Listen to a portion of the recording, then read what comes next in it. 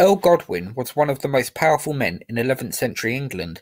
He'd rise to prominence during the reign of Canute, but during the reign of Canute's son, Harold Harefoot, Godwin attacked the retinue of two sons of the former king, Athelred the Unready, who had returned to England from Normandy after decades in exile. One of them, Alfred, was killed horribly. The other brother, Edward the Confessor, escaped and returned to Normandy.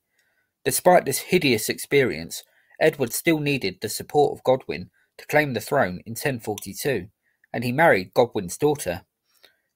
Edward and Godwin would have a serious falling out, but Godwin proved to be too powerful for Edward, and alongside his son Harold, he'd forced the king to back down. Godwin died in 1053, and Harold became the new main man in England, famously succeeding as King Harold II in January 1066.